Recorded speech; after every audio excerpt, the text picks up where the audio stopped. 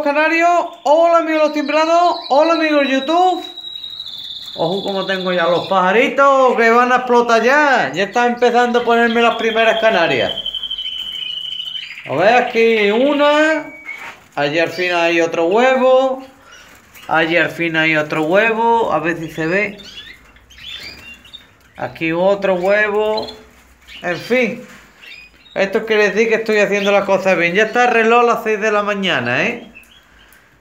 Y en fin, hoy os quiero explicar una cosa que para mí es de vital importancia. De vital importancia.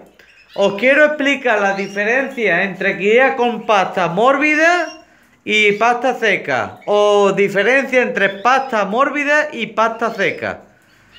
Yo primero, ¿cuál utilizo yo? ¿Cuál estoy utilizando? Este año estoy utilizando de pasta mórbida esta de aquí. Procría Guay Mórbida. ¿Lo ves? Aquí la tengo. La tengo aquí echado con su bresma que ya prepararé. Esta es la de, la de antes de la cría y ya para la cría le añado dos o tres cositas más que ya lo grabaré. Y en fin, y como pasta seca, la que voy a utilizar este año. Esta de aquí. Bastocillo blanco seco con alúmina, 12 kilos, rayo de isole. Ahora mosaico y blanco. ¿Cómo pesa? Lo pondré aquí. Que por cierto, la voy a abrir ahora mismo. Ya veréis por qué.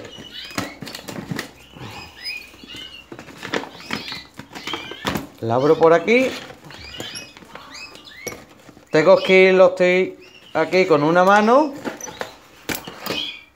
Y ahora coge, cogeré y mira esto, que esto es muy importante. Os voy a enseñar una cosa mientras que hablo con ustedes. Pasta seca, que por cierto, como siempre, la pruebo. Os puedo decir una cosa. Está deliciosa. No me la voy a comer, pero siempre me gusta viendo lo que le he visto echando los paros. Que diga, este, este tío está loco. Pero así yo sé lo que se están comiendo mis padres. Ante todo, pasta seca, pasta mórbida. Esta es la pasta mórbida. ¿Lo ves? Pasta mórbida. Mirad, una gran diferencia. Esto es pigmento para que veáis. Da igual. Aunque tire un poquito, claro, fin. Esto no se lo voy a echar. Obviamente esto lo voy a tirar. Esto para que lo veáis ustedes lo que hago y meneamos. Mira lo que pasa con la pasta seca. Para la primera diferencia. Mirad, ¿lo ves? ¿Dónde se viene?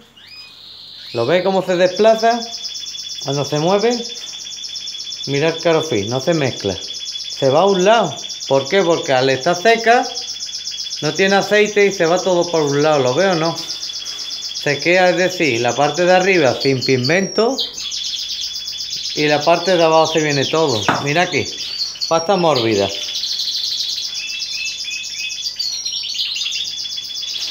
La pasta mórbida.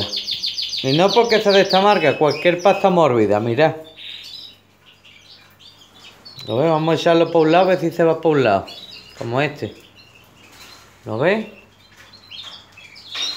Que apenas ha venido. Mira aquí y mira aquí. Si lo he hecho a un lado. A un extremo. ¿Lo ves? Que se viene todo. Es decir, ya he contestado una pregunta. Primero, para lo que es esto, tenerlo en cuenta. Cuando haya que pigmentar, pigmentar, siempre pasta mórbida. Siempre. ¿Por qué? Mira los pigmentos. Después le paro, le falta el pigmento y se viene en el fondo de la y no se lo comen. Muy importante, para pimentar pasta mórbida. Y en fin, os voy a explicar la diferencia. Esto ya lo he contestado. ¿Qué tipo de canario voy a utilizar? ¿Liprocromo? Si vamos a coger pimentar desde que son polluelos mórbidas. Vaya, yo siempre voy a dar mi punto de vista. Que son mosaicos, como utilizamos blanco y podemos utilizar los dos. O mórbida o seca. Yo ya ahora os diré dos o tres pautas, ¿eh? Que empezamos. repito, si son liprocromo como rojo intenso eh, yo utilizaría, yo utilizaría la mórbida. ¿Por qué? Porque el pigmento no se desplaza, porque tiene aceite, se queda ahí. Si es mosaico, a la blanca o mosaico. Segundo, tiempo. ¿Qué tiempo? Si tenemos que ver tiempo en que disponemos, si tenemos mucho tiempo o poco tiempo. Quiere decir que si tenemos mucho tiempo, la más fácil la mórbida porque te viene con aceite, con todo. Si tenemos más tiempo, mucho más tiempo, la seca. Porque lo podemos liar con cuscús, lo podemos liar con germinado, con sustitutos germinados, con raf, con cuscús, con lo que queramos. Que tenemos poco tiempo. Mórbida, con los tratamientos que ya os pondré por aquí, yo tengo por ahí, ya las mezclaré para la cría. Que hasta que no se lo unte, no se lo hecho. Eh, hay una solución que es intermedia. Digo, eh, esto es irregular. Eh, mezclar la mitad de mórbida con la mitad de seca. La mitad pasta con la mitad de la otra mitad de la otra pasta, ¿eh? Y así nos sale muy una mezcla que es ni fu ni fa, que nos vale para las dos. Eh, lo que he hablado antes, para mezclar con otros productos, la mejor es la mórbida también. ¿Eh? No, no, perdón, disculpa. Para mezclar con otros productos, por ejemplo, es que según si es pimentante, mórbida. Si es, eh, por ejemplo, con cuscús, con, con el sustituto, con los germinados, con todo, la seca. La seca, repito, mezclar con otros productos según, que no la he puesto, según sea pimentante, mórbida, si es cuscús de esto, la seca. La seca. Propiedades de la pasta las propiedades de la pasta es muy importante. ¿Por qué? Porque tenemos que ver el número de proteínas que tiene. Por ejemplo, eh, mira esta. Esta aquí te lo dice ya. Lo ves que es para la cría y para los pichones. Que esta está especialmente. Aquí el número de proteínas, os lo digo dónde está. Aquí está.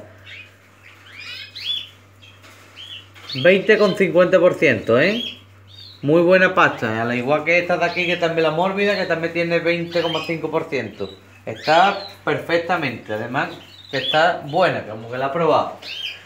Otra cosa muy importante, ¿para qué utilizo la pasta? Esto es para mí lo fundamental. Mirad, lo fundamental, ¿por qué? ¿Para qué la quiero? ¿Para la cría muda o mantenimiento? Muda para mí mórbida, mórbida. Una cosa muy importante, para la muda podéis utilizar la seca y por ejemplo, los aceites que el aceite, podéis añadirle aceite de linaza, eh, repito, aceite de linaza para que le dé brillo en la pluma. Por eso eh, se utiliza la mórbida, porque te viene con el aceite esencial y de toque. Por ejemplo, se ve en el nivel de grasa. La seca, a ver, lo voy a poner aquí a ver que enfoque. Ahí está. ¿Lo ves? La grasa, ¿lo ves? 4,6. Mira la mórbida, el número de grasa que tiene. ¿Qué te lo dice? Un 15%. ¿Lo ve cómo varía? A ver que lo enfoque.